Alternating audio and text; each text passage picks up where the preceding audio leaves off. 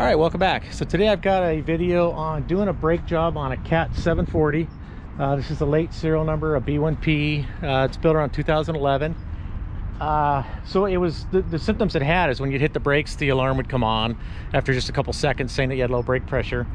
So we went through and we checked the pump. The pump's fine. We checked the uh, pressure reducing valve and the check valve and those are fine. So the next step was to check each wheel. So we capped off each the supply going to each wheel for actuating the brakes. And this right center wheel um, that was the problem. As soon as we capped that off the alarm quit going off when we'd hit the brakes. So what happens is it's it's a bunch of discs. There's 11 discs in there. They're kind of like a transmission disc. Uh, you'll see those later in the video. And when those get all wore out then the, the piston travels too far and then oil leaks be, be, through the piston. So today we're going to pull off this wheel. Uh, we're going to pull the planetary apart pull all that out and then we're going to pull the brakes apart and we'll see what we have in there and then we'll reseal the piston put new uh, discs and uh, plates in there if the plates are bad and uh, get this thing running again. So hang on. The puck machine set the side that we're working on is the high side? And there's two reasons for that. You'll see I jacked it up and I jacked it up pretty high. What that's going to do is it's going to help contain uh, most of the differential oil. That way when we pull the axle shaft out we're not going to lose all the oil from the diff um, also when we go back together the way that these wheels go on and the way that the hub goes in it's going to make it uh, easier for us to work it in.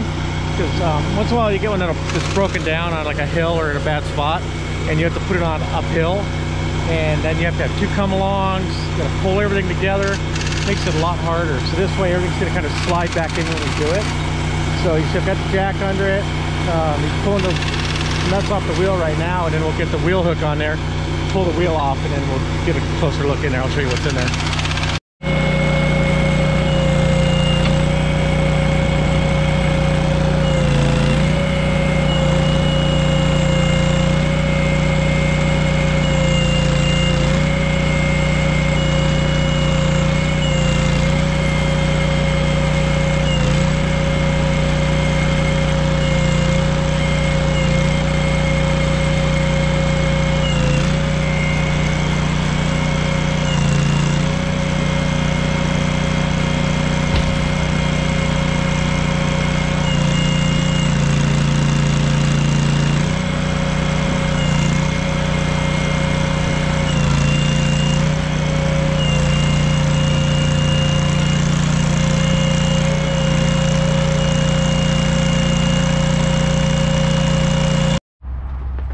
all right so we got the wheel off. Uh, there was a shield on here. He took the shield off and now what we have to do we're gonna we'll blow all this dirt out of here first.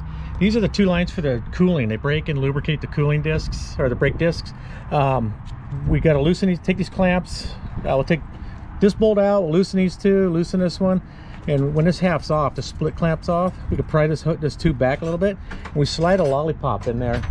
Um, it's not a new invention but interestingly i have the cat set. It doesn't have a set that fits in here. So we just got some galvanized uh, you know tin plating from Lowe's or whatever.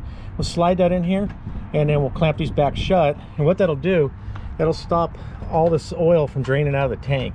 Because if you open one of these up it'll start leaking and it won't stop until that tank's empty. So we'll do that to both of these cooling tubes. And then we have to go and pull we'll pull the cover off the planetary.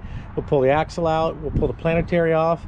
And then we'll get the crane on the hub and we'll un unbolt the hub we'll swing it out and then we can remove this plate and then we'll be able to get to the discs and the, the brake discs and uh, plates that are in there.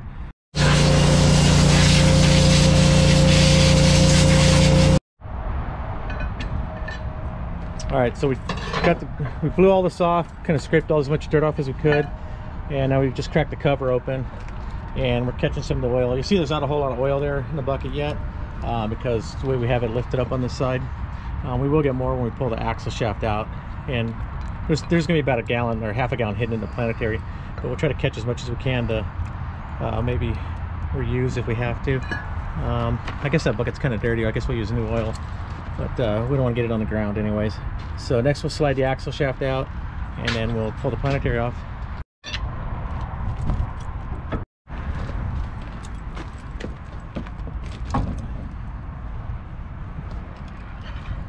wipe that oil off for you. And then just lay it across that wheel next to the wheel hook.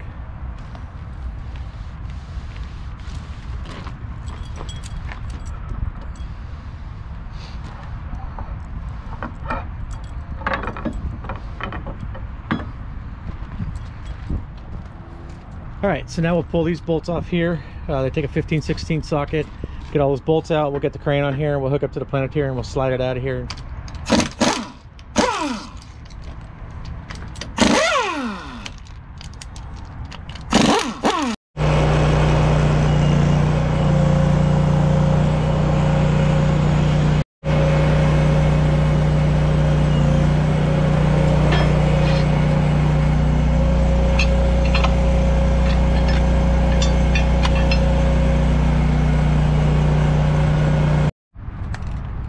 All right, so we got to pull these these 12 point bolts out. Was there eight of them? And once we pull this retainer off, then this hub's going to want to come off. So we'll pull them all out but one, then we'll get the crane on here to hold this, and then we'll be able to remove this whole hub. Okay, so he's removed the retainer, and you'll see there's a stack of shims in there. That's how we set the clearance on the wheel bearings. Uh, these have a tapered roller bearing in them. So now as we go to slide this off, we're going to get a gush of oil out of here, and that's going to be the oil, that's the cooling oil for the brakes and we'll be able to slide this off. This uh, hub and this, yeah, this is a hub as well. That's a hub, that's a hub. Um, is a spindle. What this hub's gonna slide off with this bow gear, um, we're just gonna leave it all together and sitting in here. Sometimes we pull that off first, but we're just gonna pull it one piece.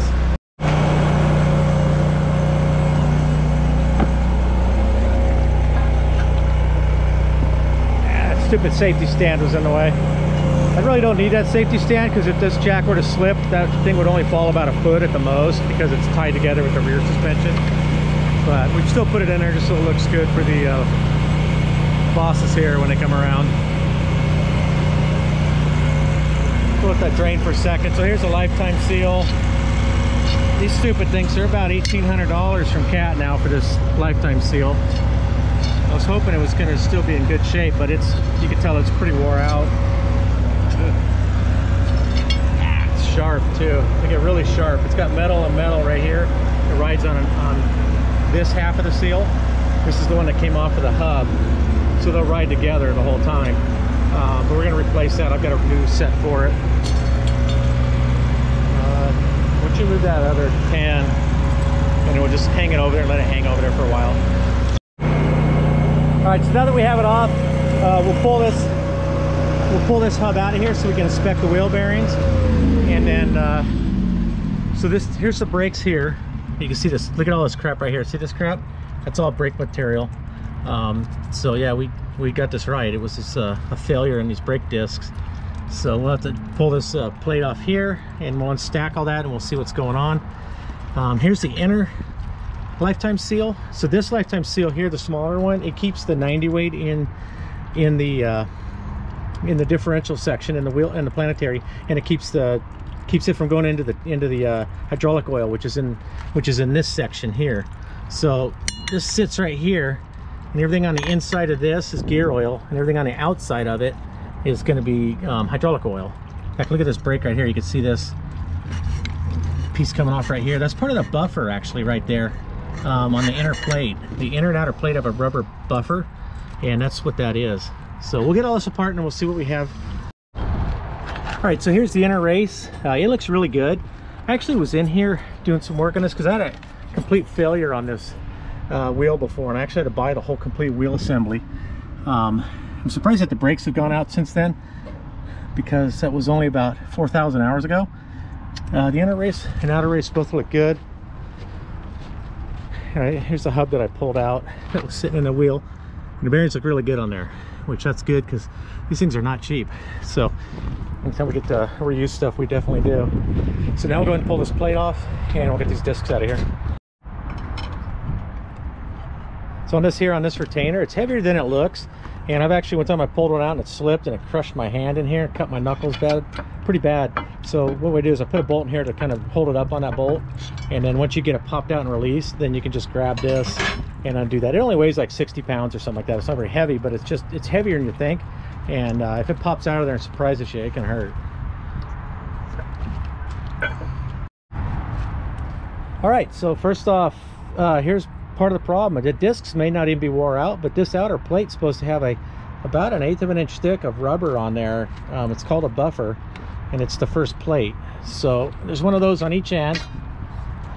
And um, yeah, so this disc is no no good. we'll pull them out we'll check these discs. In fact that is wore really bad. Look at that. So we're going to take this apart. We're going to get all these discs and plates out. Uh, if the plates are good we can reuse them which is good. That'll save me about about twelve hundred dollars. Um, actually a little more than that eight fifteen hundred dollars something like that whatever. Um, but we're definitely to be changing all the discs and and the end plates.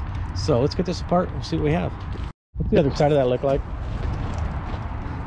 So this side see the meat that's on there? We flip it over and there's nothing so um, it should have this and that's even low until it's flaking I mean that was just failing on both sides Doesn't matter what order or what direction I put it back in. It doesn't matter because um, they're not going back in. But we'll save the plates. We'll check out the plates. Actually, put the plates in a separate pile.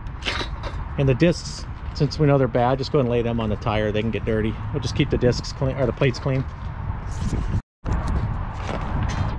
And so as I get farther in here, I can see more of them, like this one right here, up on my thumb. It's it's failing.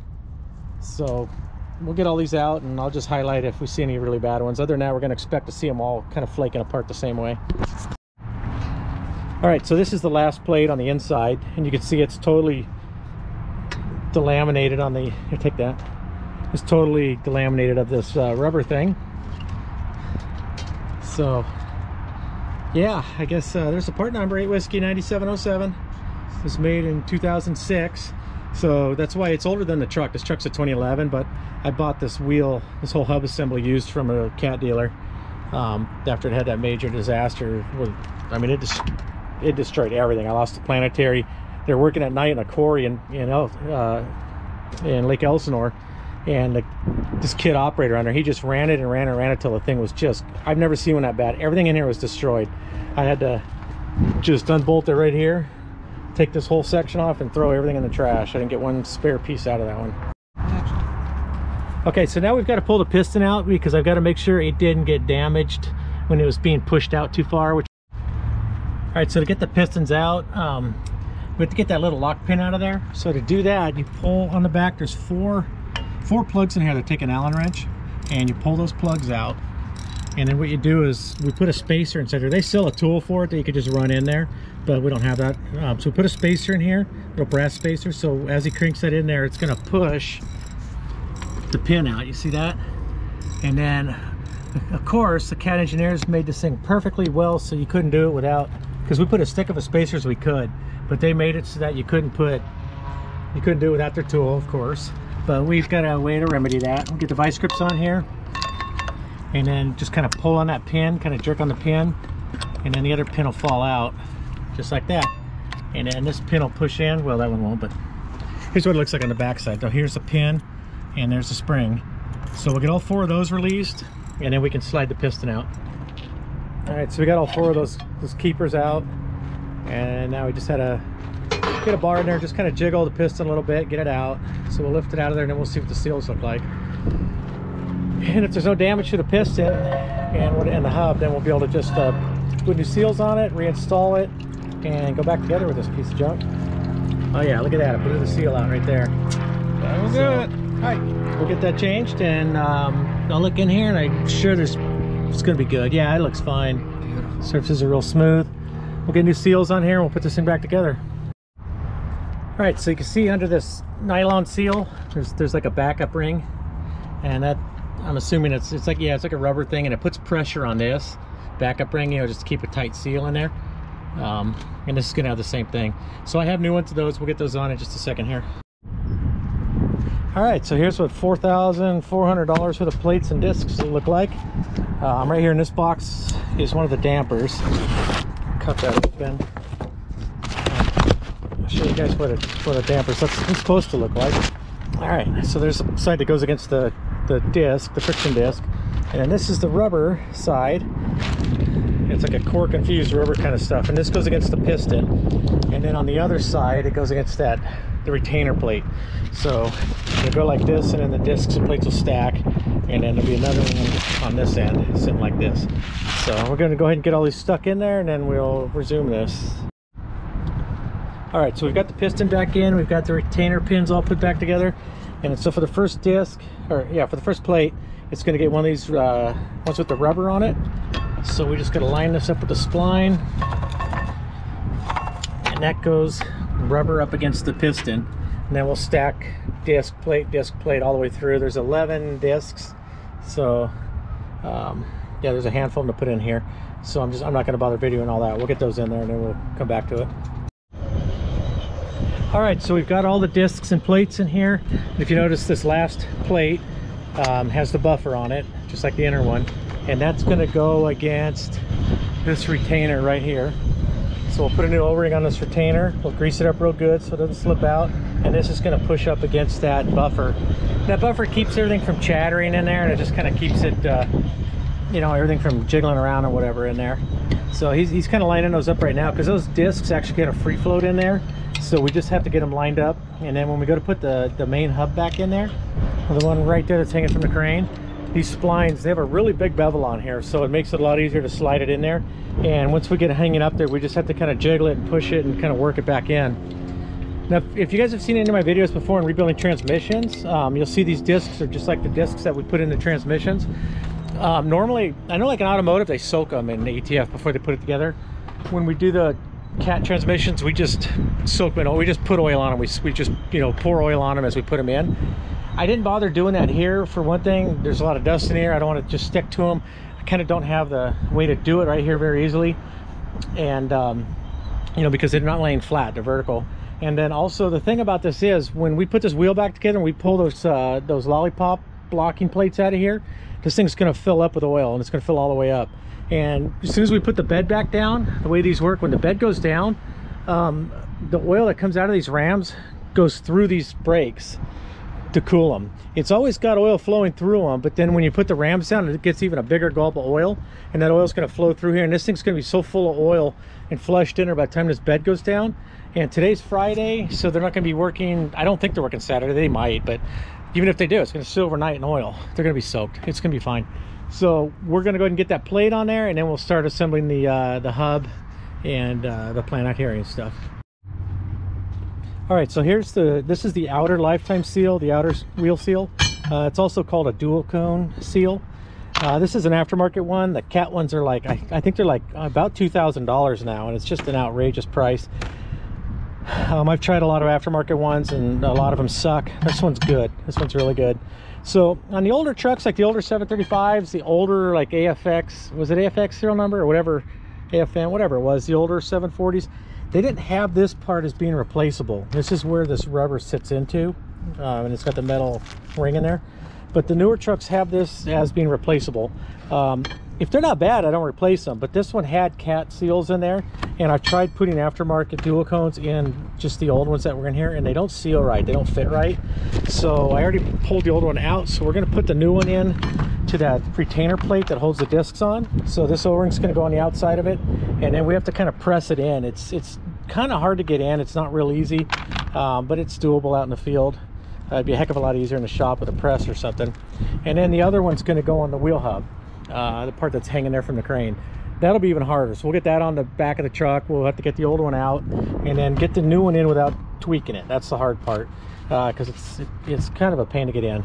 I'm not even going to video it because it's just too much work getting it in. Um, I don't want it's it's going to be hard to can't to film it while I do it. So I'm going to get this these parts in. We'll get the lifetime seals on, and then we'll get this thing going.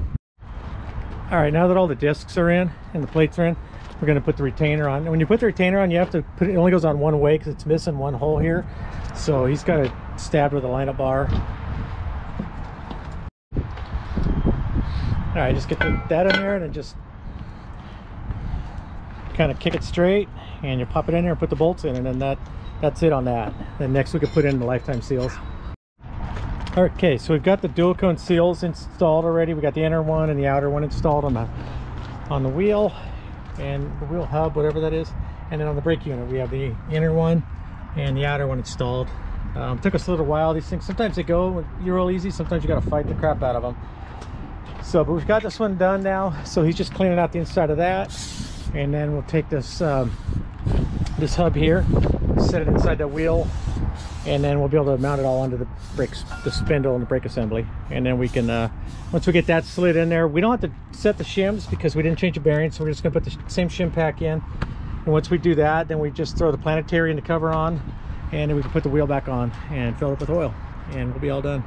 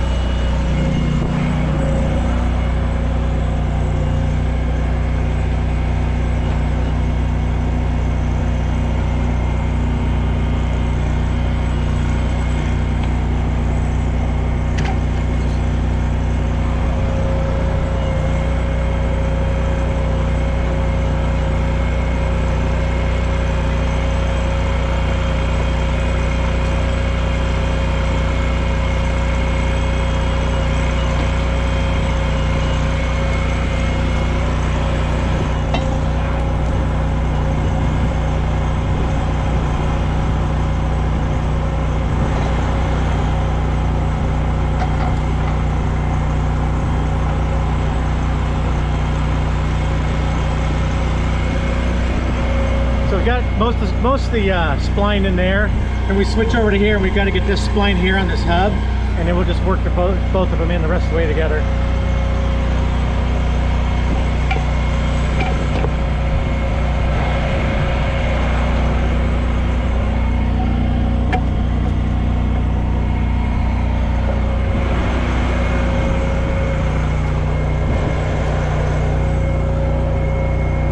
That's how those seals go together there. And so now we're just up against the seals. We're just fighting the seals. So we'll put this retainer in, and then that's gonna pull the wheel to get pull the wheel all the way up to the shims where it belongs.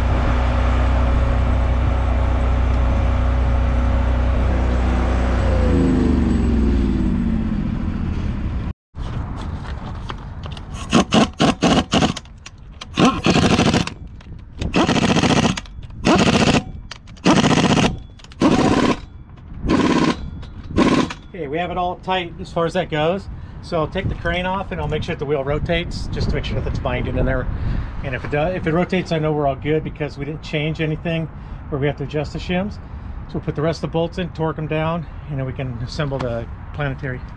All right, we just took the crane off, so I just stick a bar in here and rotate it freely.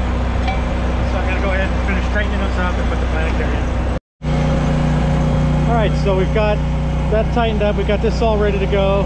Put a new seal on the planetary. And we put these line-up studs on here, so it makes it easier to get the planetary lined up on there. We just set it up with two holes on there. And then you can just, you know, kind of drop down on the studs and slide right in. Okay, so we've got it on the studs. He's just going to swing the hook out of the way. And this thing will just slide right on.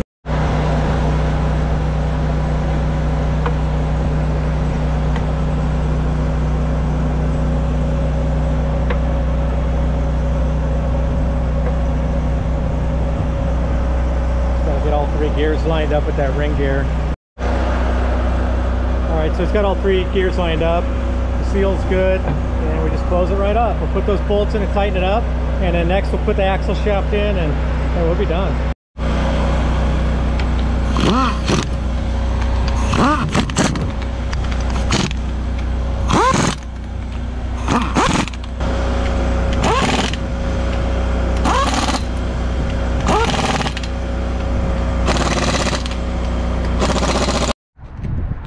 All right, all right, so we're getting the shaft in. This is the side that has two splines on it because of the diff lock. So it gets to be a little bit harder to put in than the other side. Um, I'm gonna go ahead and give uh, Alex the camera and I'll show you guys how I do this.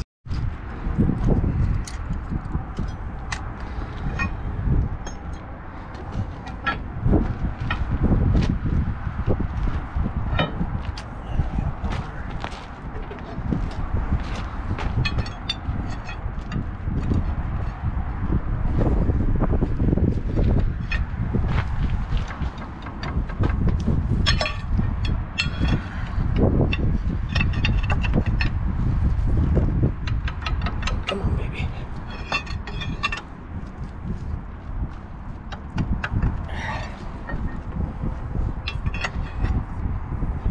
There we go. Okay, so you get once you get into that second spline, then you don't want to go all the way in with it. You want to get the gear on here. And then you just have to line the gear up. You have to look inside here. Look at the top two gears that I'm trying to mesh with.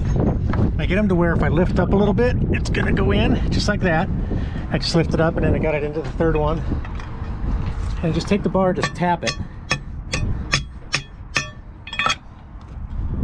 and then you got to expose it so you can put that ring in here ring on and just push it right in. And then the, the cover actually has a space like a, a projection and a know, like a, a wear part that's in it that holds that shaft in place. So we just got to wipe this down we'll put the cover on and then we'll top it off. All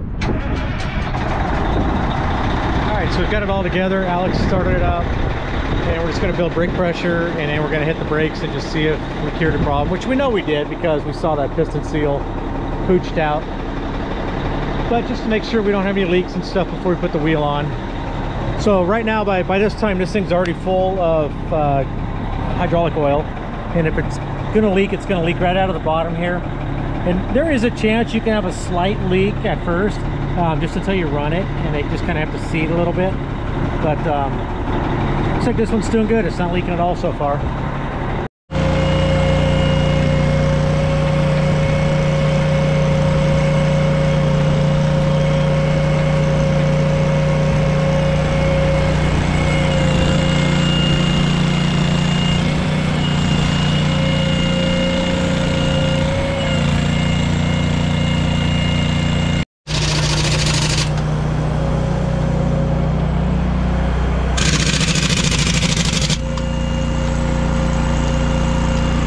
All right, now we've got the wheel on. We, we run the bolt, we run the nuts on with a half inch gun with a long extension. Makes it easy just to get them all in place. And then we go around and we hit each one with the one inch gun, about four hits. Uh, that's it, we'll lower down with the jack and then this thing's done. So anyways, thank you for watching. Um, if you haven't subscribed already, please do. Uh, please hit the like button, that really helps a lot with uh, algorithm thing. And uh, if you have anybody that's interested in these kind of videos, please share it. Um, that will keep my uh, touchdown up. And as always, thank you for watching. Have a good day.